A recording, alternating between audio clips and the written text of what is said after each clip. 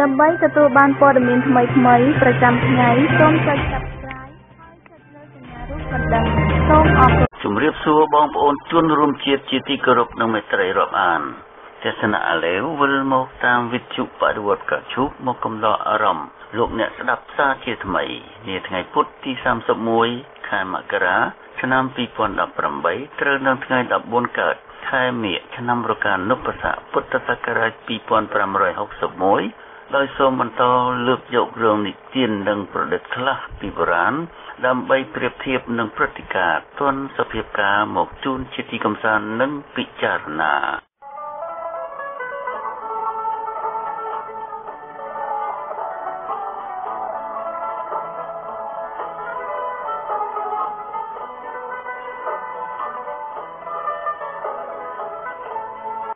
អាលីវសង្កេតយូរហើយ ចោលវាបង្ហើយលើយស្រកាត្រីដែលអាចប្រៀបដូចនឹងព្រឹត្តិការណ៍បញ្ច្រាស់ស្រកីរឿងនានាប្រើទាំងវាចាថាតាមចង់ប្រើច្បាប់តម្រង់ចោតអ្នកជាដែលហ៊ានងើបឡើងស្រែកតវ៉ារួចចាប់គ្រប់គ្នាទៅដាក់គុករឿងទី1រឿងបញ្ច្រាស់ស្រកីកាលពីព្រេងនាយអាលេវតែងតែបោកស៊ី មានបោកបានស៊ីសម្លមីសួរជាដើមប៉ុន្តែអាលេវសម័យបានស្ដាប់នឹងពលត្រូវនៅប្រធររបស់ព្រះពុទ្ធខ្លះខ្លះដែលបានធ្វើឲ្យអាលេវយល់ថា អ្វីទៅជាកុសលធម៌អ្វីទៅជាអកុសលធម៌ជាពិសេសទង្វើណាដែលធ្វើដោយចេតនាល្អផ្ដល់ប្រយោជន៍ដល់មនុស្សភាគច្រើន និងទង្វើណាដែលធ្វើដោយចេតនាអាក្រក់ ផ្ដល់តែប្រយោជន៍សូនទួដល់បុគ្គលនាសម័យកាលថ្មីនេះ គឺនាសម័យកាលនៃការគ្រប់គ្រងរបស់បុគ្គលនយោបាយផ្នែកចូលហើយនយោបាយខ្វាងលាវបានសង្កេតឃើញថា សម័យនេះជាសម័យបញ្ច្រាស់ស្រកាពលគឺគេកលាយព្រឹត្តិការណ៍ពិតឲ្យទៅជាព្រឹត្តិការណ៍ក្លែងក្លាយដូចជាគេប្រកាសថា ប្រជានុរាស្ត្រនៅទល់ដែនប្រទេសកម្ពុជា ចូលទៅដាំដំណាំក្នុងប្រទេសអាន់អែមខណៈដែលពួកអាន់អែមវាចូលមកបាញ់ថ្នាំបំផ្លាញដំណាំប្រជានុរាស្ត្រអស់នៅក្នុងដីដូនតារបស់គាត់ដូចជាគេជាអ្នកប្លន់ដីរបស់ប្រជានុរាស្ត្រដោយគ្មានសំណងយកទៅលក់ឲ្យឈ្មួញសោះស្រាប់តែគេថាប្រជានុរាស្ត្រនាំគ្នាទៅរស់នៅក្នុងដីរបស់រដ្ឋដូចជាគេចោទថា បណ្ដាប្រទេសនានានាំគ្នាថ្កោលទោសរដ្ឋាភិបាលកម្ពុជា ជាកំហុសរបស់ពួកប្រឆាំងទាំងស្រុងដូចជាគេចោទថាប្រជានុរាស្ត្រណា ដែលស្លៀកពាក់ខ្មៅនៅថ្ងៃច័ន្ទដើម្បីសម្ដែងនៅការមិនពេញចិត្តនឹងការចាប់សកម្មជនតវ៉ាដីធ្លីដាក់គុកថាជាពួកប៉ុនប៉ងធ្វើបដិវត្តពណ៌រំលំពួកគេព្រមទាំងករណីរាប់មិនអស់ជាច្រើនទៀត ដែលគេកលៃខ្មៅឲ្យទៅជាសគេប្រែមុខមាត់នីតិរដ្ឋទៅជានីតិមាត់ដែលជាករណីជាក់ស្ដែងប្រមូលផ្ដុំអំណាចនៅលើដៃបុគ្គលតែមួយក្តាប់តូចយកច្បាប់រដ្ឋមកដាក់ក្រោមគូតអង្គុយពីលើគេដណ្ដើមប្រពន្ធតារាភាពយន្តយកមកធ្វើជាស្រីកំណាន់លុះបែកការក៏បាញ់គ្នាចោលទៀតគេបាញ់សម្លាប់មេសហជីពកម្មករ បាញ់សម្លាប់អ្នកការពារព្រៃឈើបាញ់សម្លាប់អ្នកវិភាគល្បីល្បាញពីរឿងសង្គមព្រោះប៉ះពាល់ដល់ផលប្រយោជន៍គេនិងគ្រួសារគេគេជាឃាតករហើយគេទិញឃាតករសពនិមិត្តមកបង្ហាញសាធារណជនចំនួនប៉ុន្តែថ្ងៃក្រោយបើពេលណាមានតុលាការត្រឹមត្រូវតុលាការសុក្រិតរកភស្តុតាងឃើញ និងមានសាក្សីច្បាស់លាស់គឺ គេនឹងត្រូវមានទោសជាប់គុកគិច្ចមិនផុតតាមធម្មតាគេតែងតែអូសទូកបណ្ដោយទឹកតែពេលនេះគេអូសបញ្ច្រាស់មិនខុសពីគេប្រើកំបិតរុះត្រីបញ្ច្រាស់ស្រកានោះឡើយខ្លួនគេធ្លាប់ជាចៅលួចមន់ឥឡូវបានក្លាយជាចៅលួចជាតិលួចតាំងពីដីលួចតាំងពីព្រៃលួចតាំងពីអចលនវត្ថុរបស់ជាតិរហូតដល់ប្រាក់ជំនួយសម្រាប់ជាតិ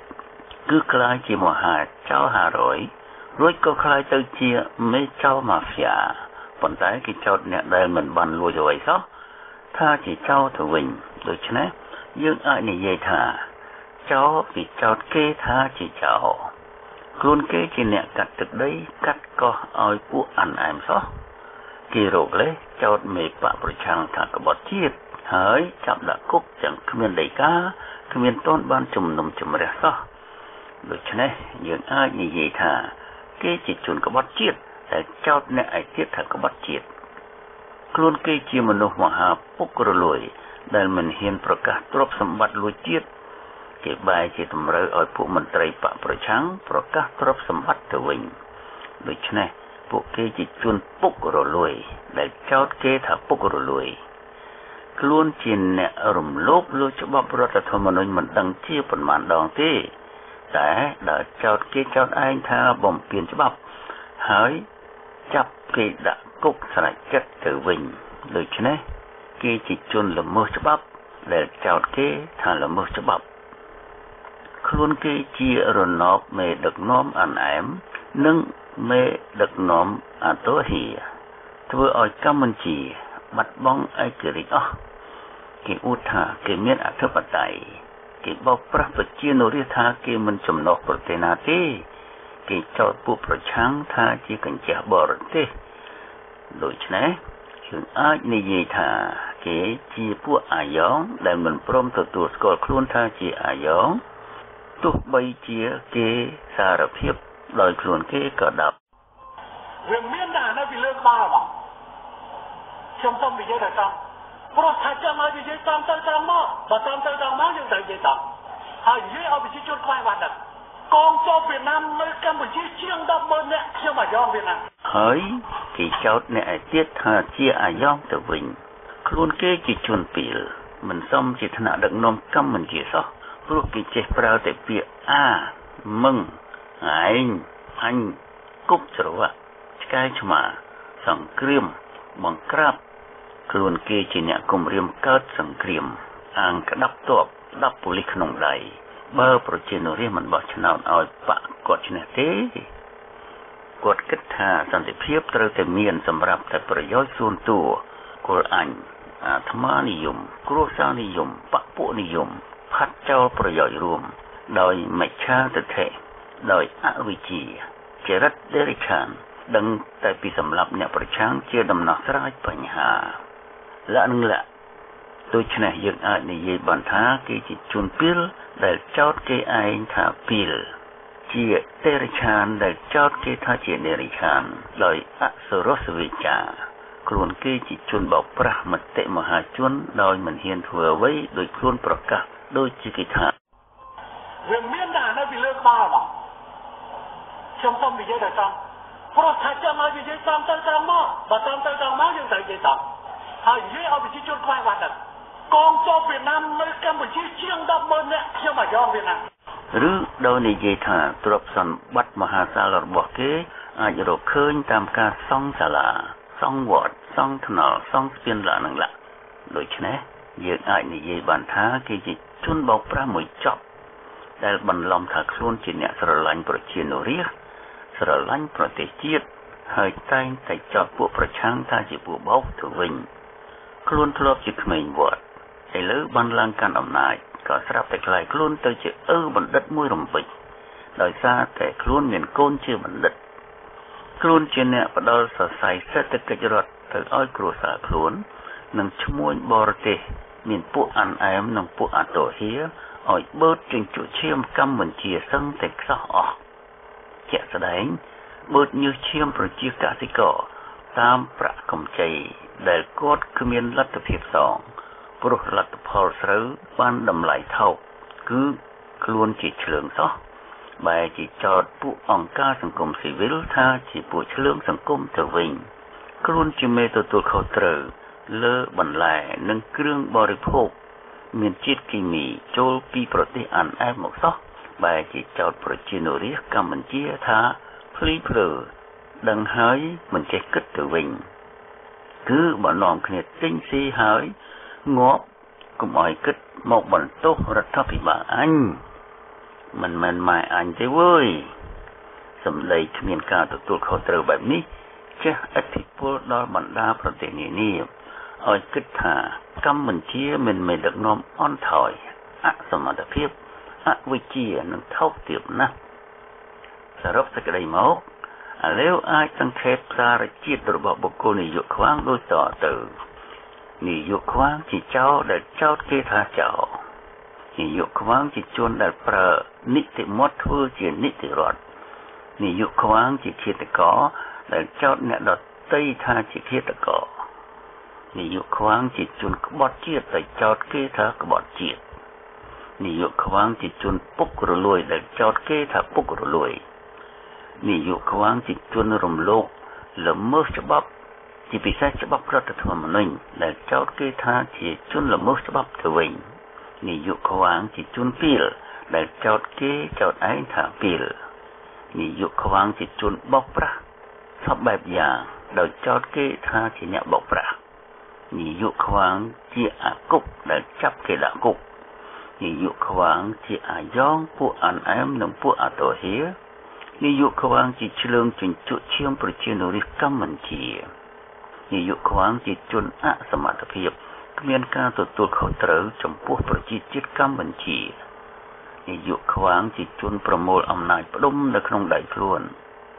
នាយកខ្វាងជាជនអវិជ្ជាមានចរិតដេរឆាន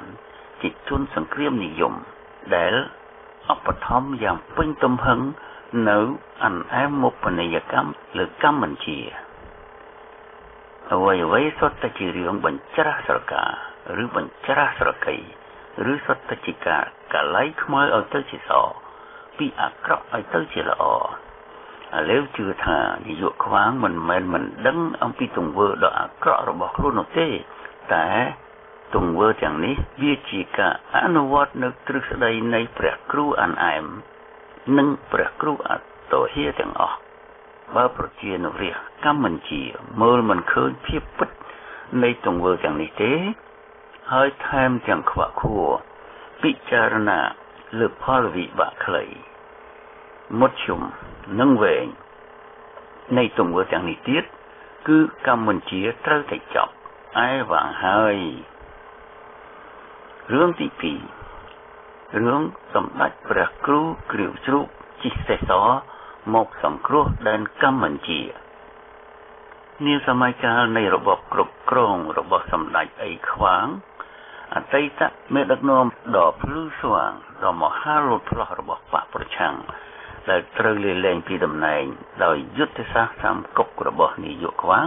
ទើបតែភ្ញាក់ពីដំណេកអស់ជាង20ឆ្នាំ មកបញ្ចេញយុទ្ធសាស្ត្រខ្សែគុកប្រឆាំងតទល់នឹងអ្វីដែលគេហៅថា ជារបបផ្ដាច់ការដោយជប់បានអាជីនៃមួយដាក់ឈ្មោះថា ចលនាសង្គ្រោះជាតិអតីតមេដឹកនាំនេះធ្លាប់បានសម្ដែងរិទ្ធអស់ជាង20ឆ្នាំ ជាមេបកជំទាស់ដោយគាត់យល់ច្រឡំថាគាត់ជាមេបកប្រឆាំងគឺជារយៈពេលដែលគាត់ស្រែកប្រាប់អ្នកគ្រប់គ្រងគាត់ថាដើម្បីចាប់ចោលបានគាត់ត្រូវចូលទៅគៀកគិតនឹងចោលហើយគាត់ក៏បានចូលទៅគៀកកើយនឹងចោលមែននេះជាលើកទី1លើកទី2 ក្រោយដែលប្រជានុរាស្ត្រសុំថាកុំឲ្យចូលក្នុងសភាចោលនិងក្រោយដែលបានស្បត់ថាបើចូល គឺគាត់អន់ជាងអាចគោទៅទៀតគាត់ក៏បានប្រាប់ប្រជានុរាស្ត្រកម្ពុជាថាគាត់ត្រូវតែចូលទៅចាប់ខ្លាគាត់ហក់ចូលទៅមែនបានមួយសន្ទុះខ្លាវាដេញត្របាក់ក្បាលរត់បាត់ជើងសោព្រៀបចេញមកក្រៅស្រុកយកតែព្រះអាយុសឹងតែមិនចង់ទាន់ ទោះបីជាយ៉ាងនេះក្តីក៏ពួកអ្នកគ្រប់គ្រងគាត់ចាត់ទុកគាត់ថាជាសម្ដេចព្រះគ្រូដដែលប៉ុន្តែពួកអ្នកវិភាគតាមវិចារណញ្ញាណរបស់គេគេបានចាត់ទុកគាត់ថាជាសម្ដេចព្រះគ្រូគ្រាវជ្រូកទៅវិញព្រោះគាត់ជាមនុស្សដែលមានចំណេះវិជ្ជាខ្ពង់ខ្ពស់សមជាសម្ដេចព្រះគ្រូនៃពួកអ្នកគ្រប់គ្រងមែនតែចរិតសក្តិភូមិ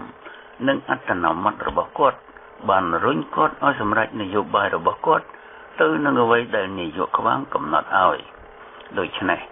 បើនាយកខ្វាងជាជនអវិជ្ជាគាត់ក៏ជាជនអវិជ្ជាដូចតែគ្នាដែរដែលជាហេតុធ្វើឲ្យគេបំពាក់ងារថ្មីឲ្យគាត់ថាជាសម្ដេចព្រះគ្រូគ្រាវជ្រូកតទៅនោះអាឡេវមិនហ៊ានបំផ្លាស់ទេ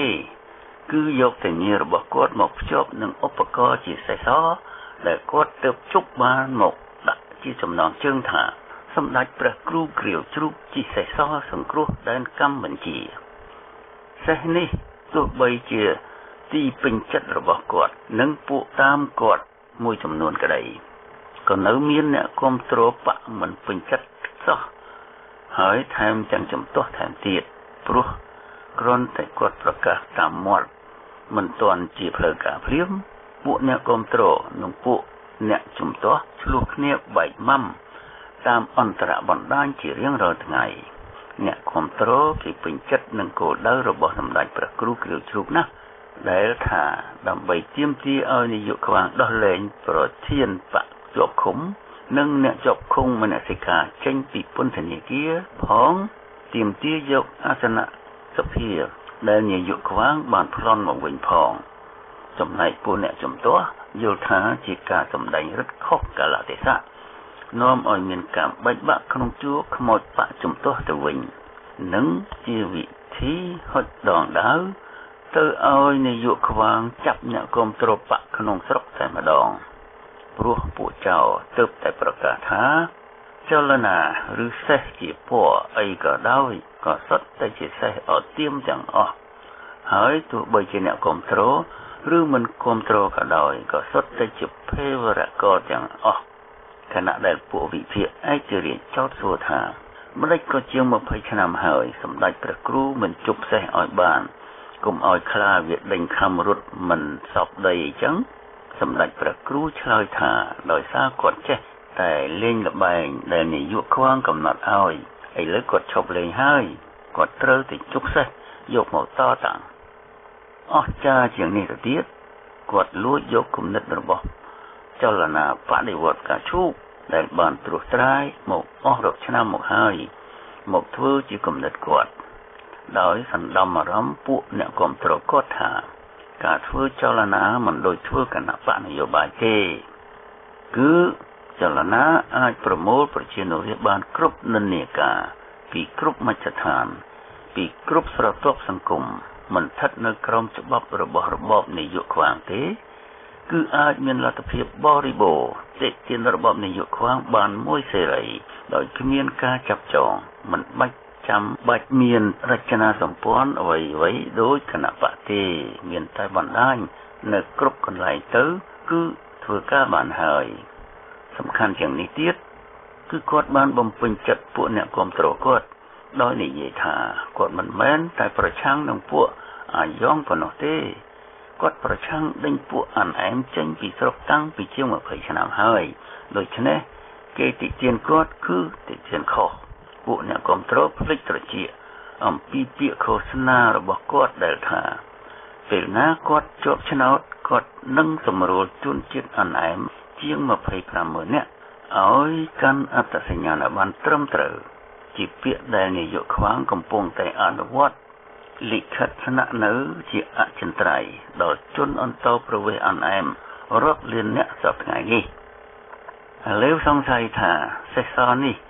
អាចនាំមកនូវគ្រោះមហន្តរាយដល់កម្ពុជាទៅថ្ងៃមុខបើសេសនេះជប់មកសម្រាប់តែចូលទៅវិញទប់ជើងក្រែឲ្យនាយកខ្វាងនោះប៉ុន្តែអាលេវក៏សូមបួងសួង ឲ្យទេវតាជួយថែរក្សាសេសនេះឲ្យនាំប្រជានុរាស្ត្រកម្ពុជាឲ្យដល់ជោគជ័យដោយបំណងបើសេសនេះបោទៅខុសគោលដៅដូចខាងលើ ក្នុងន័យចុងក្រោយនេះដែរឥឡូវបានដកស្រង់មតិខ្លះក្នុងទំព័រ Facebook មកជម្រាប ដើម្បីពិចារណាបងប្អូនរួមឈាមជាទីស្នេហាសូមមេត្តាជ្រាបចលនាសង្គ្រោះជាតិបូកបកសង្គ្រោះជាតិ រួមរស់នៅក្រោមដំបូលយ៉ាងមុំតែមួយទេ ដោយបានជូតទឹកភ្នែកស្ងួតហើយហើយក៏បានបន្តដំណើរទៅមុខទៀតណាបងប្អូនអើយដើម្បីចាប់ដៃគ្នារំដោះមាតុភូមិពីការឈ្លានពានពីសំណាក់ពពួកជនបដិការកុម្មុយនីសបរទេសចិនយួនក្នុងការស្ដារកសាងប្រទេសជាតិក្រមរបបប្រជាធិបតេយ្យជាមួយប្រទេសលោកសេរីទាំងអស់ ដើម្បីនឹងទៅកាន់បដិណភាពគ្រប់គ្រប់វិស័យនានាក្នុងពេលអនាគតដ៏ខ្លីខាងមុខនេះនោះអវសានហត្ថលេខាសេចសេរីម្នាក់ទៀតសរសេរថាវាគ្មានបានការអីទេលបងយូអើយបង្កើតចលនាស្អីការងារលើឆាកអន្តរជាតិមិនខំធ្វើទេគិតតែនាំគ្នាធ្វើឲ្យតែបែកបាក់នៅចាំបានទេ កាលចូលរដ្ឋសភា បើខាងប្រធានបកជប់ឃុំមិនចូលទេបែកបាក់តាំងតពីពេលនោះមកម្លេះទៅហើយពេលនេះគឺជាពេលដែលអន្តរជាតិនិងប្រទេសលោកសេរីជាពិសេសសហរដ្ឋអាមេរិកកំពុងដាក់សម្ពាធនិងលែងទទួលស្គាល់រដ្ឋាភិបាលនយោបាយខ្វាង ដែលមិនដែលធ្លាប់មានពីមុនមកដូច្នេះយើងត្រូវតែខំរួបរวมកម្លាំងគ្នា នៅពេលដែលគេចោទសម្ដេចព្រះគ្រូនិងចង់រំលែកបាក់ ព្រោះសម្ដេចព្រះគ្រូសុខចិត្តលាលែងប្រគល់ឲ្យលោកប្រធានបកថ្មីដឹកនាំដូច្នេះពេលនេះលោកប្រធានបកថ្មីជាប់ឃុំសម្ដេចព្រះគ្រូត្រូវតែចូលមកចិត្តមកដឹកនាំវិញគ្មានអីខុសទេយើងរឹតតែគ្រប់ត្រទៀតប៉ុន្តែមិនត្រូវបង្កើតចលនាអីទេ គឺនៅតែក្នុងបកសង្គ្រោះតែមួយទៅវាខ្លាំង ឥឡូវទុកជូនប្រជានុរាស្ត្រធ្វើការវិនិច្ឆ័យតាមការគួរដោយខ្លួនឯងចុះ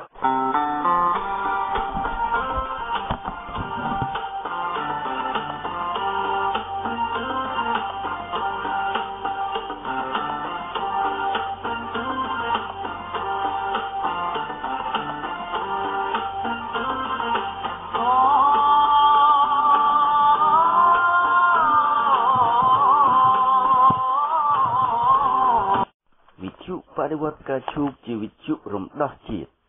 ពីអាណានិគមយួនដែលអនុវត្តតាមរយៈយួននៅពនីយកម្មកម្ពុជានាបច្ចុប្បន្ន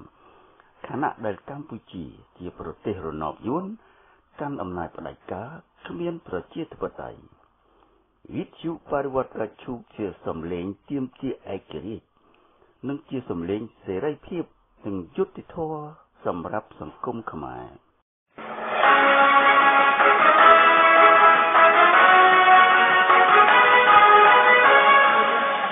ខ្ញុំបាទឧចលនៃបដិវត្តការឈូកសូមជម្រាបសួរបងប្អូនជនរួមជាតិដែលស្ដាប់វិទ្យុបដិវត្តការឈូកទាំងក្នុងស្រុកទាំងក្រៅស្រុកជាការតាមដានស្ថានភាពជាតិនិងអន្តរជាតិដែលតាក់ទងបញ្ហាខ្មែរទី1 ក្រុមការពារសំរងស៊ីបាននឹងកំពុងវាយប្រហារជេមសុកនិងម៉ាក់ហ៊ឿនដែលបានបកអាក្រាតផលវិបាកនៃទង្វើសំរងស៊ីក្នុងការបង្កើតចលនាសង្គ្រោះចោលដែលគេគ្រងប្រកាសនៅក្រុង Washington ហើយបន្ទាប់មកក៏គេសម្រេចប្រកាសចលនានេះនៅទីក្រុង Long Beach កាលពីថ្ងៃ28មករា2018វិញជាមសុកនិងម៉ាក់ហ៊ឿនបានលើកយកទង្វើដែលសំរងស៊ីជាកូនជើងសក្តិភូមិរបស់សីហនុបានធ្វើជាមួយនឹងក្រោយ សម័យសីហនុបន្តបន្ទាប់ជាង20ឆ្នាំមកហើយលទ្ធផលគឺបានត្រឹមតែជួយទប់ជើងក្រែព្រោះបកសង្គ្រោះចោលគ្រប់គ្រងអាខ្វាក់ហ៊ុនសែនក្បត់ជាតិជួយពង្រឹងរបបអាចក្នុងឈ្នាងរាជានិយមទី2ហើយពង្រឹងយុណពាណិជ្ជកម្មនៅកម្ពុជានេះគឺជាអ្វីដែលបដិវត្តការឈូកបានបើកកកាយឲ្យប្រជាជាតិខ្មែរដឹងហើយដើម្បីកុំឲ្យប្រជាជាតិខ្មែរនាំគ្នាបន្តធ្វើជាមមាញចូលភ្លើងទៀតនៅពេលបោះឆ្នោតម្ដងម្ដង គឺមិនត្រូវនាំគ្នាទៅបោះឆ្នោតដើម្បីទប់ជើងក្រែឲ្យអាខ្វាក់ហ៊ុនសែនបន្តអំណាចក្នុងមួយអាណត្តិមួយអាណត្តិដើម្បីពង្រឹងយន្តពាណិជ្ជកម្មនោះទេអ្នកដែលគ្រប់គ្រងសំរងស៊ីផ្កាប់មុខបានចោតឈាមសុកនិងម៉ាក់ហ៊ឿននាំគ្នាផ្សាយដំណឹងមិនពិតឬ fake news ជាការចចាមអារាមថាឈាមសុកនិងម៉ាក់ហ៊ឿនបានទទួលលុយពីហ៊ុនសែនម្នាក់1លានដុល្លារដើម្បីបំបាច់បំបាក់បកសង្គ្រោះចោលនេះអាចជាដំណឹងខុសដែលកើតមានជាច្រើន ក្នុងសម័យជឿនលឿន Facebook Internet ហើយដែលដំណឹងអ្វីអ្វីទទួលបានការផ្សាយយ៉ាងលឿនខ្លាំងឡើងខ្លាំងឡើងដូចជានៅក្នុង YouTube Twitter លាក់នាំឲ្យបដិវត្តការជុកនឹកថាជាមសុកនិងម៉ាក់ហ៊ឿនប្រហែលជាក្រុមអ្នកមានមនសិការជាតិខ្ពស់មានការពិសោធន៍ចេះដឹង ជាកូនខ្មែរក្លាហាន មិនចង់ឲ្យមាតុភូមិកម្ពុជានិងប្រជាជាតិខ្មែរចាញ់បោកថ្នាក់ដឹកនាំម្ដងហើយម្ដងទៀតដូចជាចាញ់បោកហ៊ុនសែនសំរងស៊ីកឹមសុខាដែលបានអូសទាញប្រជាជាតិខ្មែរឲ្យបំរើយួនបំរើ ប្រយោជន៍ពួកគេផ្ដាច់ការម្ដងហើយម្ដងទៀតទេដឹងព្រោះអាខ្វាក់វាប្រើអំពើផ្ដាច់ការជារបបប៉ុលពតទី2បង្ខំឲ្យស្ដេចទីងមងប្រថាប់ត្រាលើសន្ធិសញ្ញា2005ប្រគល់កោះត្រល់កោះក្រចកសេះឲ្យយួននិងបោះបង្គោលព្រំដែនចូលដីខ្មែររហូតមានអាពួកបណ្ឌិតគ្រាវជ្រូកទុកធំឬសុកទូចហ៊ានអះអាងថាផ្ទះនិងភូមិហេងសំរិនស្ថិតនៅលើដីយួនឡាក៏ដូចជាអាខ្វាក់វាបានប្រកាសថាកោះត្រល់បានបាត់ទៅយួនតាំងពីចំនួនស្ដេចសីហនុពុំមែនវាទេ ដែលខំធ្វើសន្ធិសញ្ញា2005ក្រោមបញ្ជាយួនប្រគល់កោះនេះទៅឲ្យយួនហាណូយបើដូច្នោះមែនមិនដេចក៏អាខ្វាក់វាប្រមានស្ដេចទីងមងថាបើពុំប្រថាប់ត្រាលើសន្ធិសញ្ញានេះទេ អាខ្វាក់នឹងរំលាយរាជានិយមទី2ចោលដាក់ជំនួសរបបសាធារណរដ្ឋទី2វិញរីឯ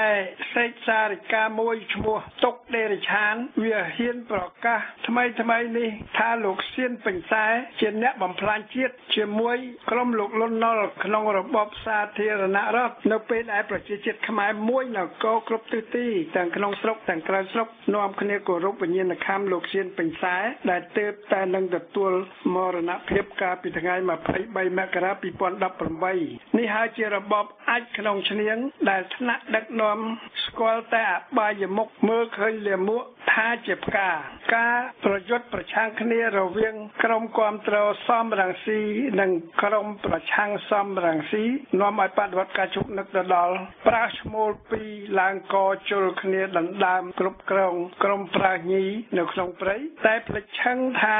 មានវងតោមួយក្រុម នៅទីនោះរងចាំឱកាសចេញមកខំសម្លាប់ ប្រើឈ្មោលណាមួយឬក៏ខំសម្លាប់ប្រើឈ្មោលទាំងពីរនេះធ្វើជាចំណៃទី2តើប្រជាជាតិខ្មែរត្រូវដើរតាមផ្លូវណា ដើម្បីឈ្នះហ៊ុនសែនពលពតទី2ឬហ៊ុនសែនជ័យជាថាទី3ពលគឺដើម្បីអាចទៀបទាយកកោះត្រល់យកបូរណភាពទឹកដីកម្ពុជាពីយួនមកវិញយ៉ាងហោចណាស់ទៀបទាឲ្យកម្ពុជា បានស្ថិតក្នុងព្រំប្រទល់ដែនរបស់ខ្លួនពីឆ្នាំ1963ដល់ឆ្នាំ1969ដែលស្ដេចសៀអនុខំសុំទទូចឲ្យអន្តរជាតិទទួលស្គាល់ក្នុងនោះមានហូជីមិញម្នាក់ផងដែរដែលទទួលស្គាល់ដូច្នេះក្រមប្រយុទ្ធបច្ចុប្បន្នមាន3ទី1ប្រជាជាតិខ្មែរជាម្ចាស់អំណាចបូករួមជាមួយអ្នកស្នេហាជាតិនិងបដិវត្តការឈូកដែលមើលឃើញគ្រោះថ្នាក់កម្ពុជាដោយលោកជេមសុកលោកងក់ហ៊ឿនឡាក់ទី2ក្រុមអាខ្វាក់ហ៊ុនសែនប៉ុលពតទី2ផ្ដាច់ការក្បត់ជាតិគាំទ្រ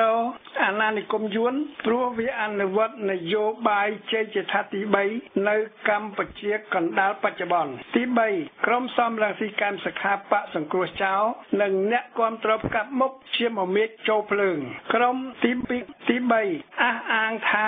គេតំណាងប្រជាជាតិខ្មែរឬយ៉ាងហោចណាស់គេប្រកាសថាគេធ្វើអ្វីៗដើម្បីបម្រើប្រយោជន៍ប្រជាជាតិខ្មែរតាមពិតក្រុមអាខ្វាក់ហ៊ុនសែនប៉ុលពតទី2គឺវាប្រើអំណាចផ្ដាច់ការជិះជាន់បង្ក្រាបធ្វើច្បាប់ដើម្បីវាអាចនិយាយថាវាធ្វើអ្វីៗគឺស្របច្បាប់រីឯក្រុមសំរងស៊ីកម្មសខាបាននឹងកំពុងឃោសនាបោកប្រាស់បោកបញ្ឆោតប្រជាជាតិខ្មែរឲ្យយល់ភ័ន្តច្រឡំម្ដងថាអញ្ចេះម្ដងថាអញ្ចោះដើរតាមពួកគេដូចជាគេចូលសភាក្នុងលេសថាគេគ្មានជំរឿខុសពីពេលមុនដែលកម្មសខាពលថាបើគេចូលសភាគឺអន់ជើងអាចគូឆ្នាំ1999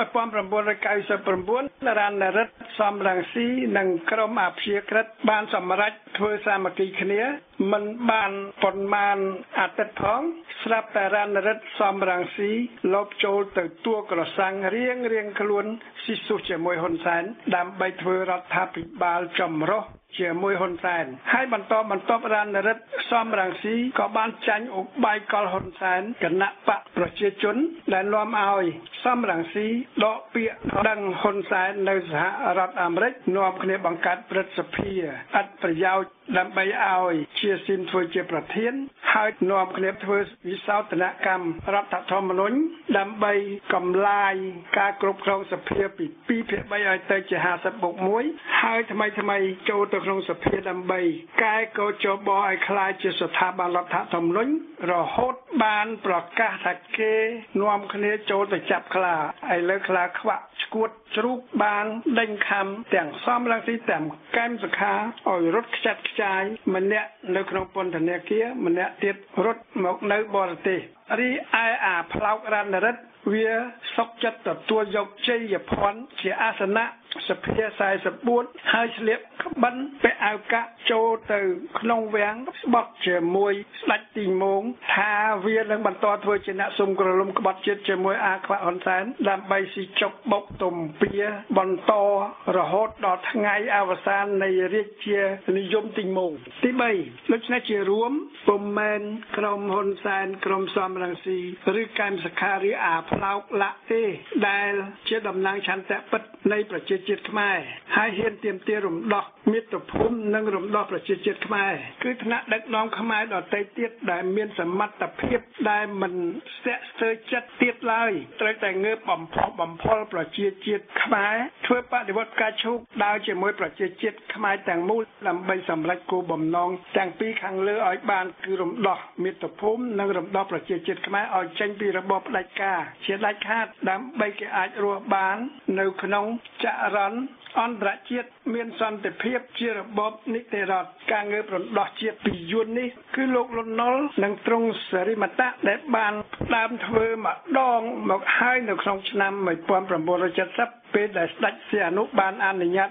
ឲ្យពួកគេដេញយាកុងនិងហូជីមិញដែលសៀនុអនុញ្ញាតឲ្យប្រើទឹកដីខ្មែរដឹកស្បៀងនិងសពាវុធទៅវាយប្រទេសវៀតណាមខាងត្បូងសៀនុមិនហ៊ានទទួលខុសត្រូវក៏ប្រគល់ភារកិច្ចជាការរំដោះជាតិពីយាកុងទៅឲ្យរដ្ឋាភិបាលស្រោចស្រង់ជាតិនៃលោកលន់ណុលសេរីមតៈដើម្បីបំពេញការងារដ៏ធ្ងន់ធ្ងរនេះហើយសៀនុយកលេសថាទៅព្យាបាលជំងឺនៅប្រទេសបារាំង ទោះជាសហរដ្ឋអាមេរិកក៏ពុំអាចយកឈ្នះយួនបានដែរនៅពេលនោះព្រោះគឺជាការប្រយុទ្ធក្នុងសង្គ្រាមរវាងប្លុកកុម្មុយនីសនិងប្លុកសេរី ដែលចិនយួនរុស្ស៊ីបោកប្រាស់ប្រជាជាតិនានានៅក្នុងតំបន់ឲ្យដេញវត្តមានសហរដ្ឋអាមេរិកទីបំផុត គឺរបបសាធារណរដ្ឋនៃលោកលន់ណូសេរីមតៈបានចាញ់ខ្មែរក្រហមប៉ុលពតក្នុងនោះមានហ៊ុនសែនជាស៊ីមហេងសំរិនឡាក់ផងដែរព្រោះការទទួលជួយជ្រោមជ្រែងពីចិនយួននិងរុស្ស៊ី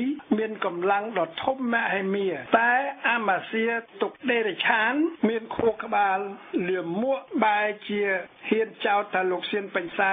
បានចូលបំផ្លាញជាតិជាមួយលន់ណុលទៅវិញធ្វើរដ្ឋប្រហារទម្លាក់ស្ដេចកំប៉ោងសៀអនុនៅពេលនោះលន់ណុលនិងសេរីមតៈបានបោះឆ្នោតទម្លាក់សៀអនុក្រោយពីបានបញ្ជូនមនុស្សទៅយាងស្ដេចសៀអនុឲ្យមកគ្រប់គ្រងកម្ពុជាវិញមុនការបោះឆ្នោតទម្លាក់គាត់តាមសភានៃរាជាណាចក្រកម្ពុជា ដូច្នេះប៉ុលពតចាវាយអាខ្វាក់ហ៊ុនសែននិងជាចាវាយអាម៉ាសៀទុកដេរិឆាននេះហើយដែលបានបំផ្លាញសម្រាប់ប្រជាជាតិខ្មែរជាង3លាននាក់បើរាប់អ្នកស្លាប់ក្នុងសម័យក5ដឹកនាំដោយអាខ្វាក់ហ៊ុនសែនក្នុងសង្គ្រាមជាបន្តបន្ទាប់ក្រោយថ្ងៃ7មករា1979ក្នុងសម័យលន់ណុលកោះត្រល់គឺនៅជាកោះខ្មែរដូច្នេះសូមអាម៉ាសៀទុកដេរិឆានក្បត់ជាតិស្ដាប់សំដីអាស្ដេច កំប៉ោងសីហនុដែលវាចោទថាយួនជាសត្វក្រពើ ជាសត្វក្រពើ មិនដឹងគុណគាត់រីឯក្រុមអាខ្វាក់ហ៊ុនសែននិងអាម៉ាស៊ីទុកដេរឆានវិញ គឺវាជាសត្វក្រពើ មកលើប្រជាជាតិឯងទី4ដូច្នេះប្រជាជាតិខ្មែរត្រូវតែមានការប្រយ័ត្នខ្ពពោះត្រូវងើបប្រឆាំងក្រុមខាងលើនេះ គឺមានហ៊ុនសែនអាផ្លោកសំរងស៊ីកែមសខារបបរាជានិយមទី2នៃស្ដេចទីមូងបច្ចុប្បន្នដើម្បីស្រែកប្រាប់ឲ្យយួនជាអាណានិគមនិងអន្តរជាតិឲ្យបានដឹងពីអំពើឈ្លានពានរបស់វៀតណាមយួនហាណូយឲ្យដឹងពីបំណងនៃប្រជាជាតិខ្មែរដែលចង់បានឲ្យមាតុភូមិទទួលបានឯករាជ្យនិងបូរណភាពទឹកដីហើយទទួលបានការរស់ក្នុងសិទ្ធិសេរីភាពនិងលទ្ធិប្រជាធិបតេយ្យដោយប្រជាជាតិនានាក្នុងពិភពលោកដែរដើម្បីជំរុញឲ្យហ៊ុនសែនសំរងស៊ីកែមសខានិងក្រុមអាផ្លោកក្បត់ជាតិផ្ដាច់ការសុំក្រមក្បត់ជាតិសង្គ្រោះចោលហើយប្រទេសយួនប្រទេសចិននិងក្រុមប្រទេសក្នុងលោកសេរីនានាមានសហរដ្ឋអាមេរិកអឺរ៉ុបលាក់ជាមួយអង្គការសហប្រជាជាតិត្រូវតែជ្រើសរើសដើរតាមឆន្ទៈប្រជាជាតិខ្មែរវិញជាពិសេសប្រជាជាតិខ្មែរត្រូវតែរួបរวมគ្នារំដោះជាតិមាតុភូមិរំដោះប្រជាជាតិខ្លួនឯងជាមុនសិនមុននឹងគិតគូរពីប្រយោជន៍ផ្ទាល់ខ្លួនឬប្រយោជន៍បក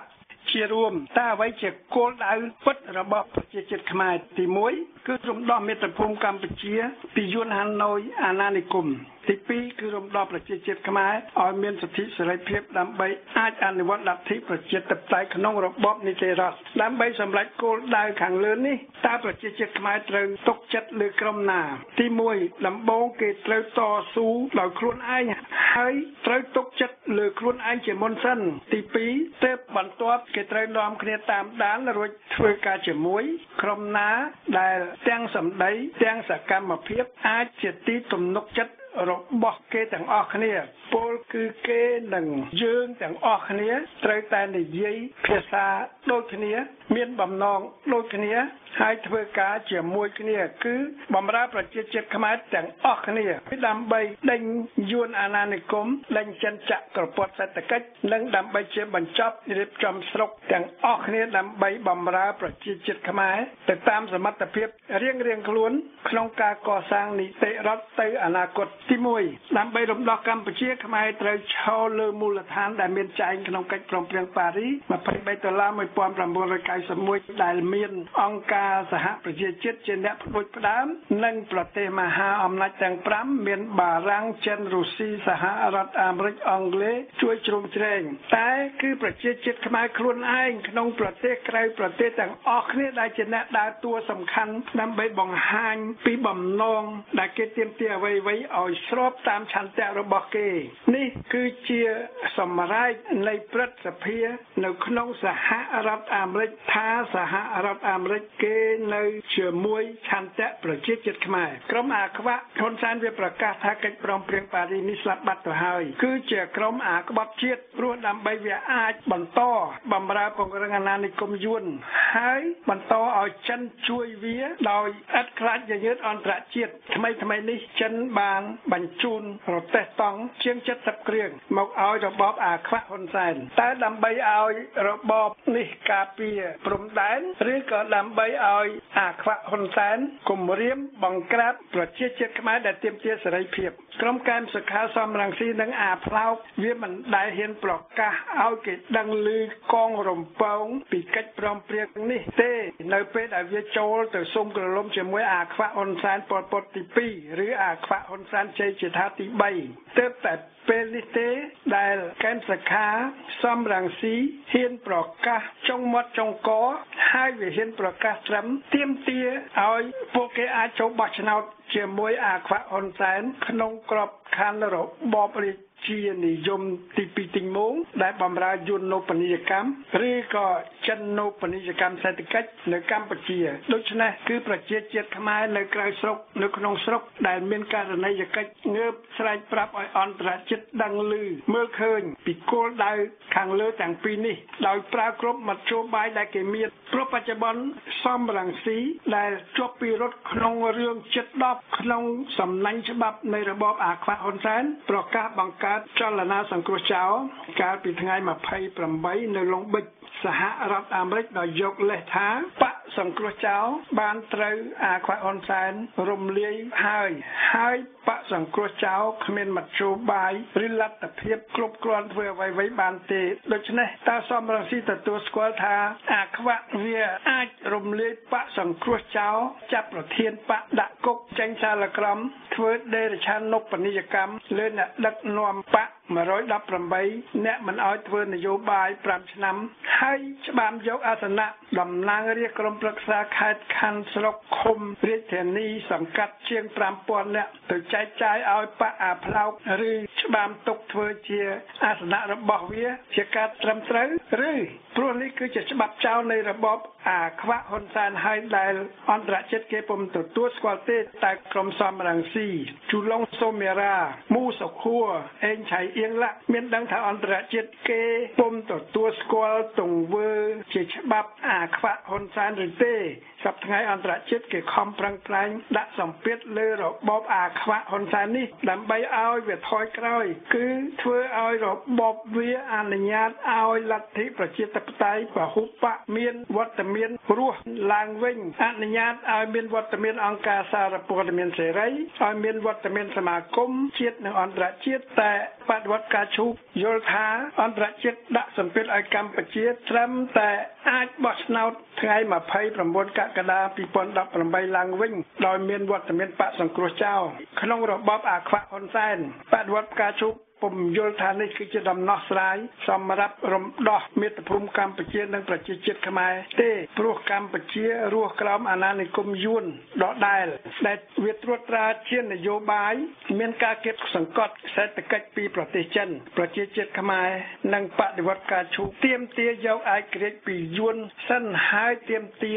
ឲ្យមានរបបនីតិរដ្ឋដើម្បីឲ្យអំណាចទាំង3គឺតុលាការរដ្ឋាភិបាលសភាមានភាពឯករាជ្យអព្យាក្រឹតដើម្បីកម្លាំងលានាធ្វើការបម្រើមាតុភូមិនិងបម្រើសន្តិសុខនៃប្រជាជាតិខ្មែរពុំមែនដើម្បីបង្ក្រាបប្រជាជាតិហើយការពាររបបអាខ្វាក់ផ្ដាច់ការនោះឡើយទី2រំដោះប្រជាជាតិខ្មែរឲ្យទទួលបានសេរីភាពអាចរស់ក្នុងរបបនីតិរដ្ឋគឺជាគោលដៅដែលមានចែងនៅក្នុងកិច្ចព្រមព្រៀងប៉ារី23ដុល្លារ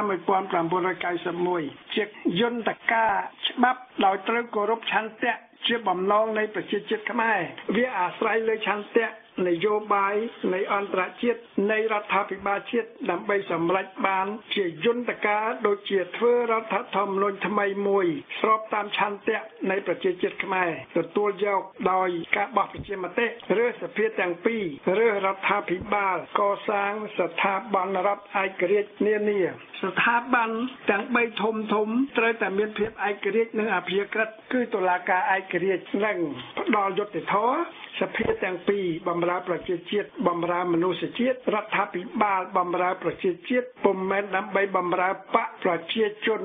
យួនសពថ្ងៃក្នុងអំពើពុករលួយអក្រិតកម្មម៉ាហ្វ្យានោះឡើយជាពិសេសក្បត់ជាតិបម្រើនិងពង្រឹងអាណានិគមយួនចិននៅកម្ពុជាដោយពេលបច្ចុប្បន្ននេះទេ បច្ចុប្បន្នសកម្មភាពទាមទារយកសិទ្ធិសេរីភាពនេះត្រូវទទួលបានជាការគ្រប់គ្រងដោយអង្គការសហប្រជាជាតិនិងប្រទេសសេរីខ្លះដូចជាសហរដ្ឋអាមេរិកអឺរ៉ុបអូស្ត្រាលីបារាំងអង់គ្លេសនិងប្រទេសហត្ថលេខីនៃកិច្ចព្រមព្រៀងប៉ារី23ដុល្លារ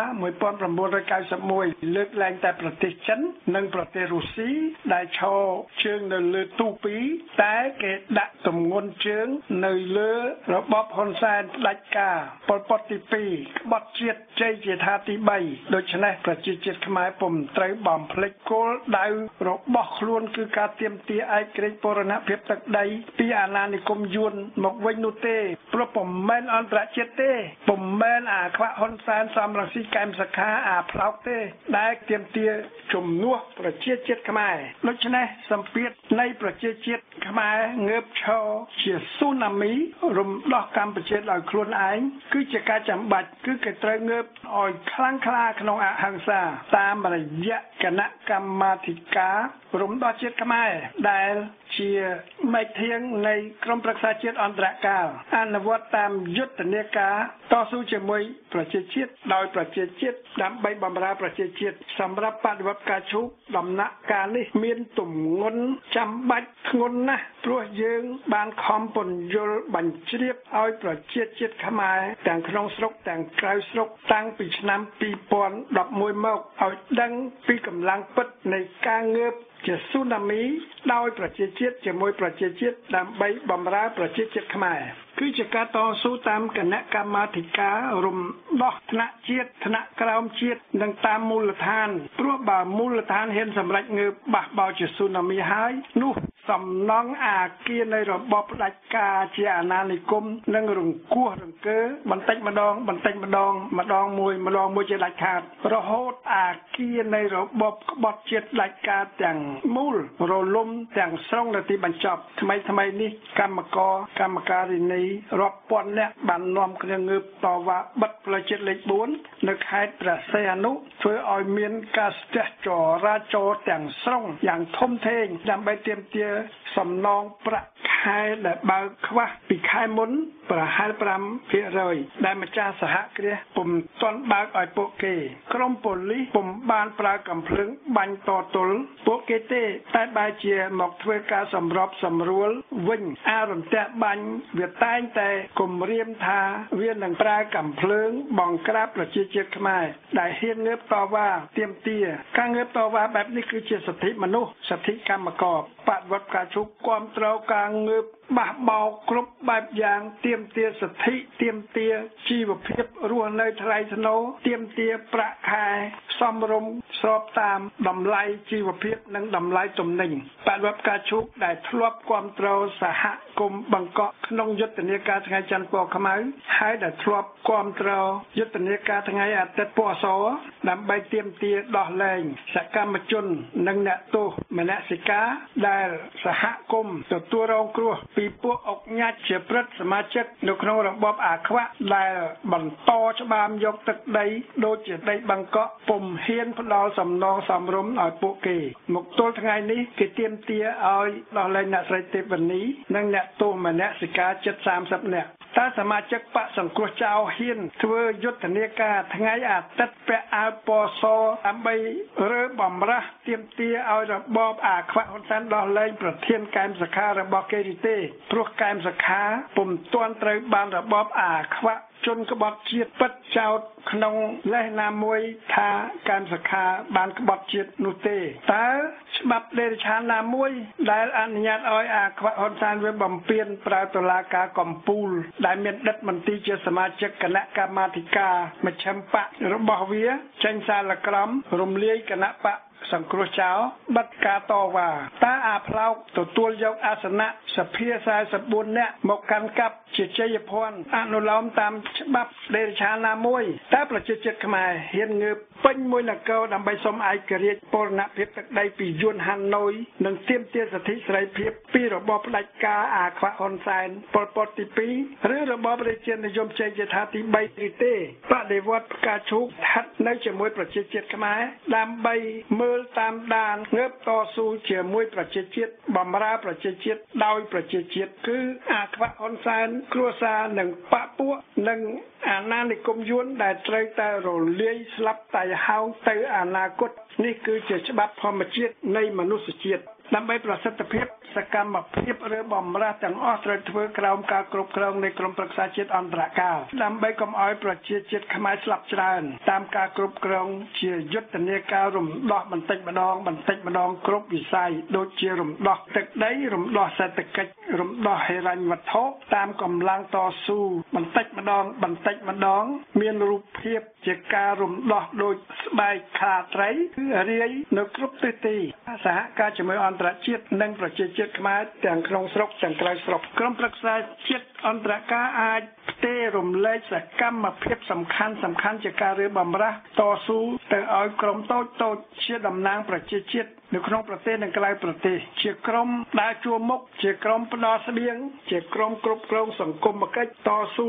ចិត្តស្និទ្ធជាមួយក្រុមជួរមុខដំបូងគឺជាសកម្មភាពក្នុងអហិង្សាជាដាច់ខាតបើមានការបង្ក្រាបជាហិង្សាពីកងកម្លាំងក្បត់ជាតិដាច់ការប្រជាជាតិខ្មែរមានសិទ្ធិតបតវិញហើយប្រកាសប្តឹងប្រាប់ទៅអន្តរជាតិដូចជាអង្គការសហប្រជាជាតិតុលាការព្រំប្រទានអន្តរជាតិឡាក់ នៅពេលជាមួយនេះមានក្រុមឃោសនាពន្យល់បង្ហាញពីគោលគំនិតនិងភាពចាំបាច់ស្របច្បាប់ដើម្បីរំដោះមាតុភូមិនិងប្រជាជាតិខ្មែរយើង គឺជាសកម្មភាពចិត្តសាស្ត្រតាមកម្លាំងឃោសនាផ្សាយផ្ដល់ព័ត៌មានពិតតាមរយៈ YouTube បណ្ដាញមីឌាសង្គមដូចជា Facebook Twitter ឬពីមាត់មួយទៅមាត់មួយក្នុងប្រទេសព្រោះបច្ចុប្បន្នអាខ្វាក់វាបានបិទបណ្ដាញសារព័ត៌មានឯករាជ្យនិងបិទសកម្មភាពនៃសង្គមស៊ីវិលជាតិនិងអន្តរជាតិអស់ហើយការធ្វើយុទ្ធនាការរំដោះត្រូវអនុវត្តតាមទ្រឹស្ដីដូមីណូគឺជាយុទ្ធនាការរំដោះទឹកដីម្ដងមួយតំបន់ម្ដងមួយតំបន់មកគឺរំដោះប្រជាជាតិខ្មែរម្ដងមួយក្រុម ម្ដងមួយភូមិរហូតមួយទីក្រុង គឺភូមិឃុំស្រុកឡាក់គឺដើម្បីអាចដេញសត្រូវឈ្លានពានអាណានិគមទាំងមួយនគរ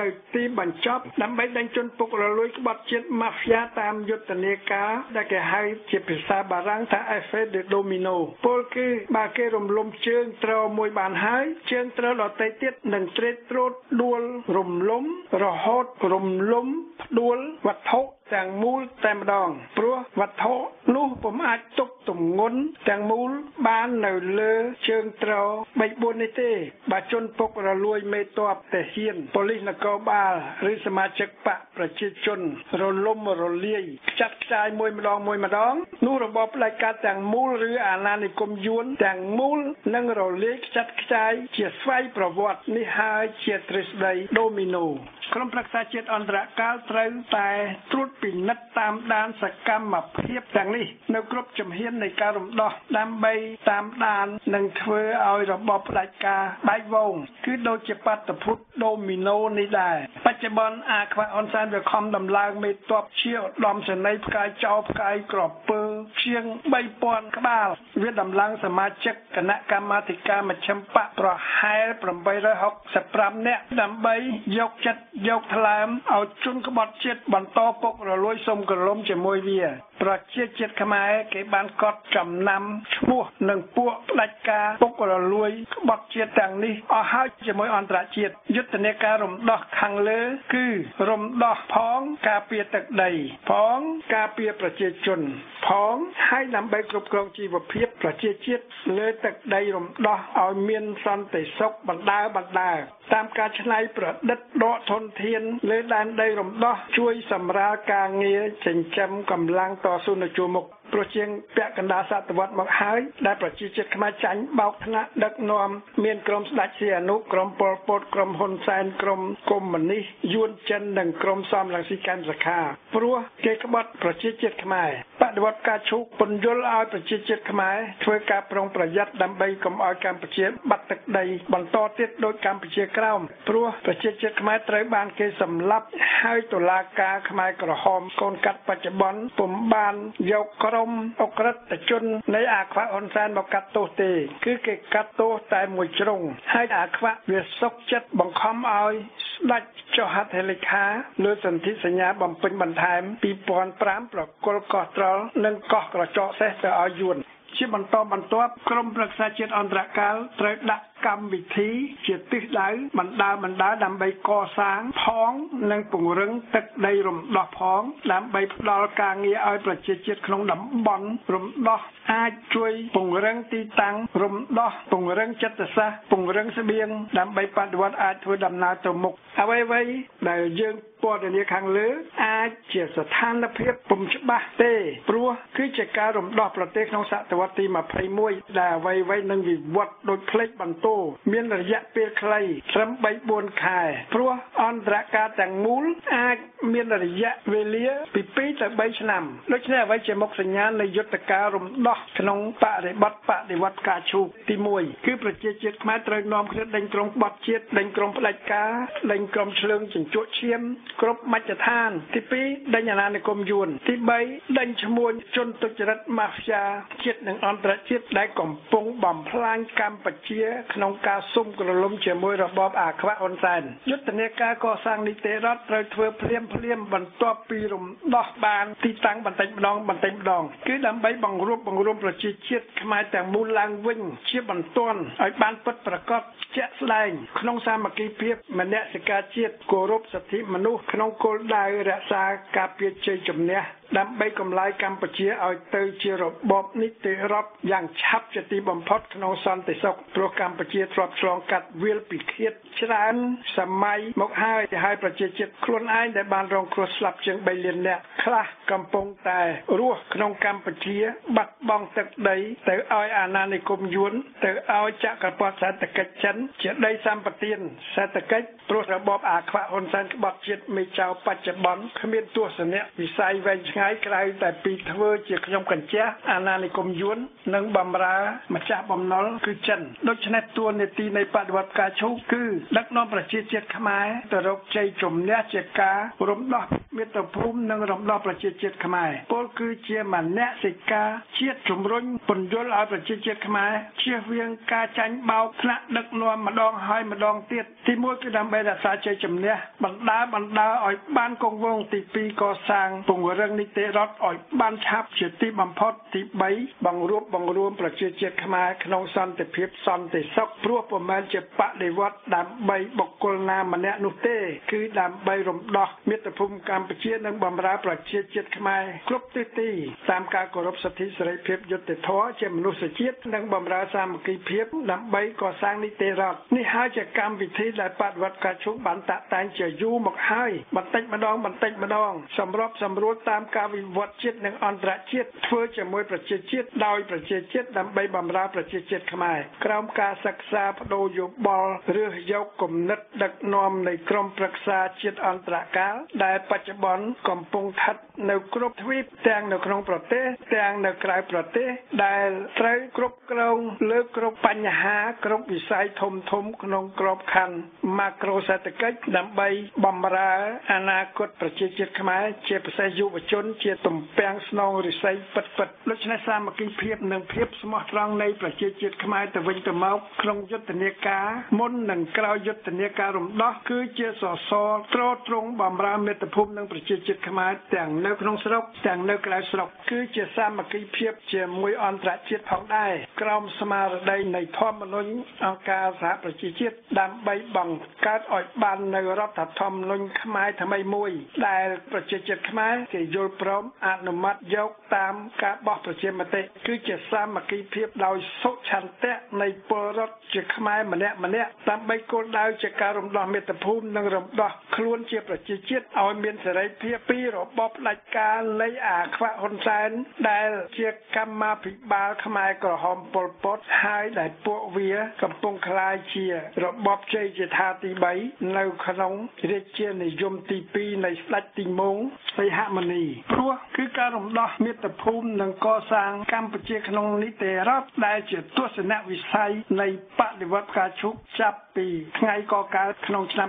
2011មកប្រជាជាតិខ្មែរទាំងមូលត្រូវអនុវត្តភ្លាមៗជាបន្ទាន់គឺទាំងមុនពេលរំដោះទាំងក្នុងពេលរំដោះនិងនៅក្រោយពេលរំដោះព្រោះប្រជាជាតិខ្មែរត្រូវការគោលដៅខាងលើនេះជាប្រញាប់ជាបន្ទាន់បដិវត្តការជុកបានខំផ្សព្វផ្សាយបញ្ជ្រាបគំនិតឬបំរាស់ចាប់ពីដើមឆ្នាំ2011មកក្រោយពីបានទទួលដំណឹងពីការផ្ទុះបដិវត្តកាម៉ូលីនៅទូនីស៊ីដោយយុវជនម្នាក់ដុតខ្លួនព្រោះគេបានរៀនចប់នៅសាកលវិទ្យាល័យហើយហើយគេគ្មានការងារធ្វើបែរជាមករកស៊ីលក់ត្រីនៅតាមផ្សារទៅវិញប្រទេសខ្មែរកំពុងរស់ក្នុងរបបអាណានិគមយួននិងក្រោមរបបផ្ដាច់ការអាខ្វាក់ហ៊ុនសែនប៉ុលពតទី2និងក៏ជារបបរាជានិយមហ៊ុនសែនជ័យជាថាទី3ដែរគឺ39ឆ្នាំហើយក្រោយពីថ្ងៃ7មករា1979ឬ22ឆ្នាំហើយបើគិតពីថ្ងៃ23ដុល្លារ1991មករបបនីតិរដ្ឋថ្មីមិនត្រូវបង្អែបង្អង់ឲ្យពេលវេលារស័តទៅដោយគ្មានការទទួលផលជាវិជ្ជមានព្រោះប្រជាជាតិខ្មែរចាញ់បោកថ្នាក់ដឹកនាំដូចជាសីហនុប៉ុលពតអាខ្វាក់ហ៊ុនសែនឬក៏ក្រុមសំរងស៊ីកែមសុខា ជាកូនជើងរបបរាជានិយមសក្តិភូមិនៃសីហនុនៃរបបរាជានិយមទី2ទីងមងសីហមនីនោះឡើយជំរាបលាបងប្អូនជនរួមជាតិដែលស្ដាប់បទជុបដិវត្តការជុកទាំងក្នុងស្រុកទាំងក្រៅស្រុកសូមអរគុណ